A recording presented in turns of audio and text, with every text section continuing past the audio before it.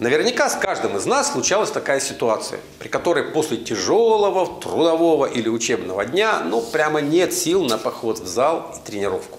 Причем физического утомления как такового не было, а имела место умственная усталость. В данном ролике мы разберем с точки зрения науки, влияет ли умственное утомление на эффективность вашей тренировки. Начну с того, что наша нервная система оказывает прямое влияние на работу мышц, а точнее на их мобилизацию при выполнении какой-либо физической работы.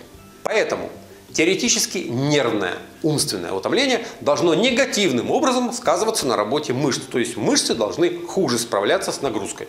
Но так ли это на самом деле?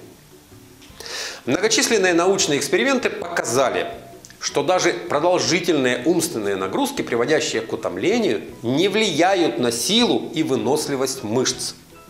Как оказалось, дело в том, что умственное и физическое утомление воздействуют на разные области центральной нервной системы, которые напрямую между собой не связаны.